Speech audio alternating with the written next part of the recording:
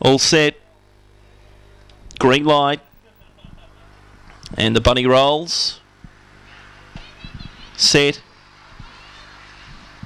and racing. Beginning well on the inside, Minority took an early lead from Psychotic Bob Fluke of Fantasy. They all push forward. Amaru Bale continues to muster deeper out. Specify went past it on the fence in Alan Warlock and Dunstall. Up the side of Packing Field. Specify through on the inside from Psychotic Bob. Amaru Bale following the leaders through. Specify led, but Amaru Bale runs on strongly. Specify in front, grabbed by Amaru Bale, and Amaru Bale beat Specify. Maybe Alan Warlock third, ahead of Psychotic Bob, but there won't be a lot in it from Minority Fluke of Fantasy and Dunstall.